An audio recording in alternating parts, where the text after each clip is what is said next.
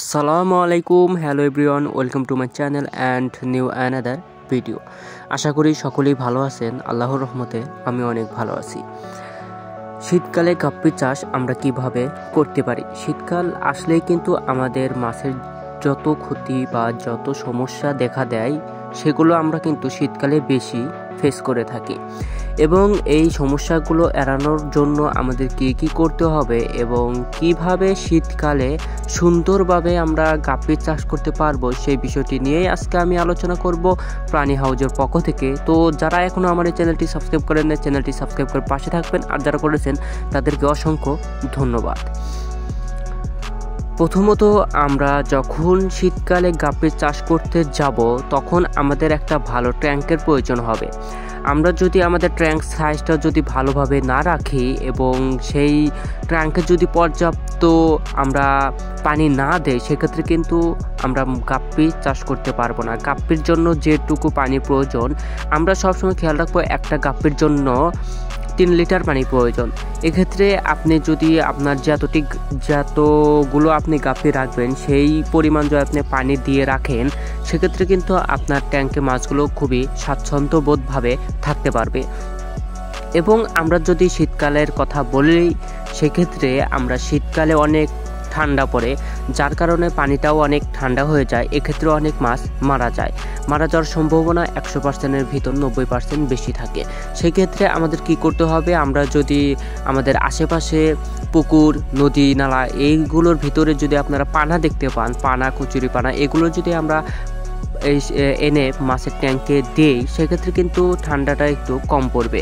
আরেকটা বিষয় যে আমাদের কাছে যদি আমাদের আশেপাশে পুকুর পুকুর, নদী নালা এগুলো যদি না থাকে, সেক্ষেত্রে আমাদের হিটার ব্যবহার করতে হবে। এবং হিটার হিটার ব্যবহার করার জন্য আমাদের কিন্তু টাকা ব্যয় করতে হবে। তো টাকা যদি ব্যয় করি, সেক্ষেত্রে আমাদের একটা ভালো মানের হিটার ব্যবহার করতে হবে। আমরা যেসব হিটার সাধারণত বাজার থেকে কিনে থাকি, সেগুলো কিন্তু তেমন ভালো সার্ভিস দেয় না। সেক্ষেত্রে আমরা বলব যে একটু দামি হিটার কিনে সেক্ষেত্রে আমাদের মাছেরও উপকার হবে, আমাদেরও উপকার হবে। মাছ ভালো থাকবে। আমরা যদি অল্প দামে হিটার ব্যবহার করি, সেক্ষেত্রে কিন্তু হিটার ভিতরে গিয়ে ফেটে যায়। পানির তাপমাত্রার সাথে হিটারের যে একটা তাপমাত্রা, সেটা যদি মিল না খায়, সেক্ষেত্রে কিন্তু হিটারটা ফেটে যাওয়ার সম্ভাবনা বেশি থাকে। আর আমরা যদি বেশি দামে একটু হিটার কিনি, যে একটা হিটার আছে, অটো হিটার, সেটা যদি ইউজ করি, সেটা কিন্তু আমরা ইউজ করি, খুব ভালো মজা পাবো। তো আমাদের শীতকালে গাপ্পি চাষ করতে হলে আমাদের এইগুলোই একটু বেশি ফোকাস দিতে হবে এবং পানির কোয়ালিটি ঠিক রাখতে হবে। পানিটা ঘন ঘন চেঞ্জ করা যাবে না। আপনি পনেরো দিন, বিশ দিন পর পর পানিটা চেঞ্জ করে দিবেন।